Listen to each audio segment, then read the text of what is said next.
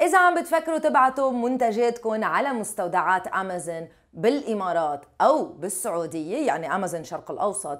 شو هن القوانين الجديدة يلي صدرتها أمازون بخصوص ال barcodes ال UPC codes ال FNSKU لعام 2020 و2021 كل التفاصيل رح نحكيهم بهيدا الفيديو خليكن عم تحضروا.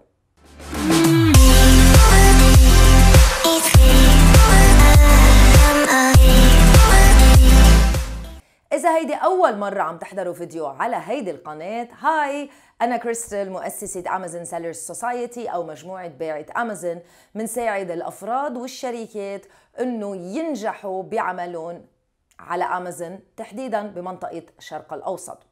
طبعا موضوع اليو بي سي كودز أو الاف ان اس كي يو أو شيء مربك بالبداية وقت نبلش عملنا على امازون ولكن طبعا هيدا الفيديو مش بس للأشخاص اللي عم تبدأ عملها على امازون ولكن كمان تحديدا للأشخاص اللي حاليا عم ببيعوا على امازون باستعمال نظام ال FBA إن كان على امازون بالإمارات أو على امازون السعودية. شو هن القوانين الجديدة وشو هن الطرق الجديدة يلي لازم تتبعون؟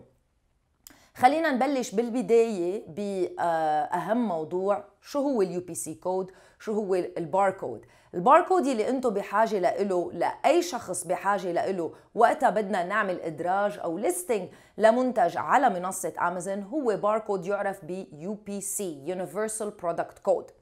إذا بتطلعوا على معظم المنتجات يلي بتشتروها أغلبية المنتجات اللي بتشتروها بتقوموا بشرائها إن كان من متجر إن كان من سوبر ماركت من أي محل. إذا كان المنتج كتاب أو قنينة مي بتلاحظوا إنه في باركود على هيدا الكتاب. هيدا الباركود مثل رقم بمثابة تعريف عنه لهيدا المنتج. طبعا ال barcodes أو ال UPC codes اخترعون بسنة 1974 يعني أقدم بكتير من نظام أمازون وشيء موجود دائما. الشيء اللي معظم الأشخاص بيضيعوا فيه أو يلي بيسبب لهم إرباك هو كم UPC code أنا بحاجة للمنتجات تبعي؟ طبعا ال UPC code هو باركود تعريفي للمنتج الأساسي اللي عنا إياه أو المنتج الفردي خلينا نقول اللي عنا إياه. يعني أنا إذا عم بيع قلم أسود آه، وهول هن ال characteristics هول هن المواصفات تبعه بدي أشتري له UPC code وهيدا ال UPC code بفوته على كتالوج امازون مع كل التفاصيل عن هيدا القلم الأسود.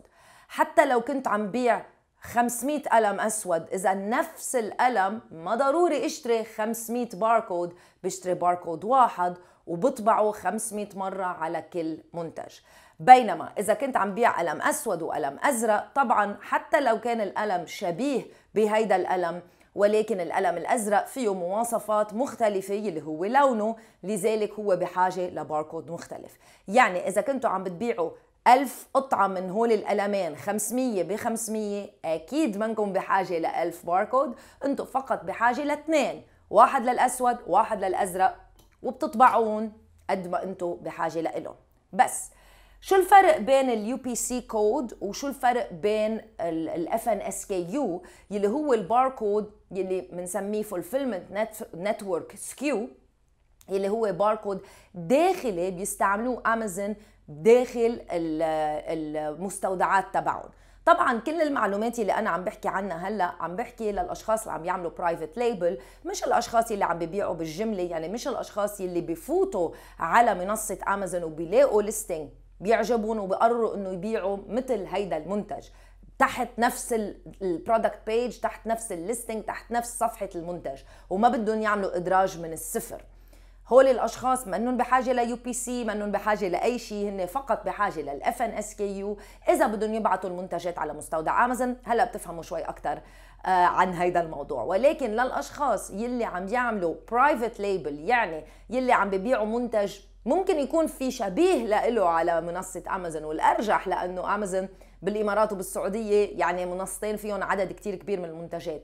ولكن بدكم تعملوا listing صفحة منتج خاصة فيكم مميزة لإلكم أنتم بتستلموا كل الصور أنتم بتستلموا كل النص أنتم بتعملوا كل التفاصيل الكلمات الرئيسية كل هول الأشياء أنتم بدكم تعملون. لذلك أنتم بحاجة ل UPC barcode بحاجة لباركود تعريفي للمنتج تبعكم أثناء تدخيل كل أثناء تدخيل كل هول المنتج كل هول التفاصيل على على منصة امازون ضروري إنه ال UPC code يكون مش اختراع. طبعا امازون بيقولوا إنه ضروري يكون ال UPC code تابع لقوانين GS1 شو هو GS1 GS1 هي منظمة عالمية بتنظم كل شيء barcodes حول العالم وبتأكد إنه ما في منتجين عندهم نفس الباركود لذلك لحتى تكونوا مأكدين إنه المنتج أو ال UPC code بالأحرى يلي عم تشتروه هو باركود صحيح ومش رح يصير عندكم أي مشكلة وقتها تستعملوه على منصة امازون عندكم خيارين أو بتشتروا الباركود مباشرة من منظمة ال GS1 أو بتشتروا الباركود من authorized resellers يعني موزعين معتمدين من قبل GS1 رح أترك لكم آه، ال websites اللي أنا بوصي فيهم بصندوق الوصف بهيدا الفيديو. so, بالبداية نحن بحاجة ل UPC code لحتى نقدر ندخل المنتج على كتالوج امازون ولحتى يصير ظاهر على website امازون ولحتى يحق لنا إنه نبيعه هذا المنتج.